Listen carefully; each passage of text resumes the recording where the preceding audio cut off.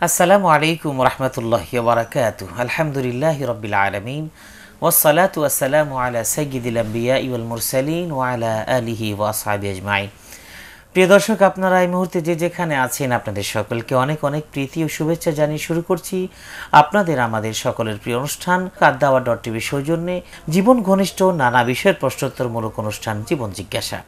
আমরা এই অনুষ্ঠানের মাধ্যমে আপনাদের পক্ষ থেকে করা প্রশ্নের কোরআন সন্না ভিত্তিক সমাধান দিয়ে আসছি।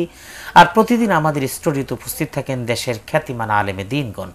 আজও সেই ধারাবাহিকতা আমাদের স্টুডিওতে রয়েছেন দেশের খ্যাতিমান আলেমে দিন, বিশিষ্ট গবেষক, মিডিয়া ব্যক্তিত্ব, ইসলামী চিন্তাবিদ, বাংলাদেশ ইসলামী বিশ্ববিদ্যালয় ইসলামিক স্টাডিজ ডিপার্টমেন্টের সম্মানিত chairman professor doctor ANM Rafiqur Rahman Al Madani আসসালামু আলাইকুম ওরহমতুল্লাহি ওবরাকাত মহতারাম আমাদের একজন দর্শক টেলিফোন অপেক্ষা করছেন আমরা ফোনটা নিয়ে নিচ্ছি। জি দর্শক আসসালামু আলাইকুম। ওয়ালাইকুম আসসালাম আলহামদুলিল্লাহ বারাকাতু আমি উত্তরা থেকে হাসিনা বলছি। জি। আমার প্রশ্ন হলো যে আমার ওই গাছের গোড়ায় তো জিপ দিলে একটু নোনা ভাব অনুভূত হয়। এতে কি আমার ওজন নষ্ট হয়ে যাচ্ছে? একটু আরেকবার বলুন মানে আমি যদি একবার অজু করি করার পর কি তাহলে আমার দাঁতের গোড়ায় জিপ দিলে নোনতা ভাব কখনো কখনো রক্ত মতন মনে হয়। মনে হয় অনুভব হয়। এতে আমার যদি অজু করা থাকে তাহলে ওই একই অজুতে গিয়ে যদি আমি আবার নামাজ পড়তে যাই তাহলে কি নামাজ পড়তে পারব নাকি আমাকে দ্বিতীয়বার আবার অজু করতে হবে? আচ্ছা ধন্যবাদ। আমাদের বোনের প্রশ্ন হচ্ছে দাঁতে ব্যথা হচ্ছে তার।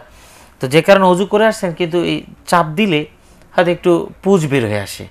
তো এখন তার প্রশ্ন হলে তো মুখের ভিতরে বা তিনি বুঝতে পারছেন। তো এর কারণে কি তাকে আবার উজু করতে হবে কিনা? দাঁতের ব্যথা বা দাঁতের থেকে যদি প্রথমই বলছেন কি লোনা কিছু বের হয়। হ্যাঁ মানে স্পষ্ট তিনি মুখের ভিতরে থুতুর সাথে বের হয়ে যাচ্ছে। তো ওইটার জন্য তার উজু যাবে না।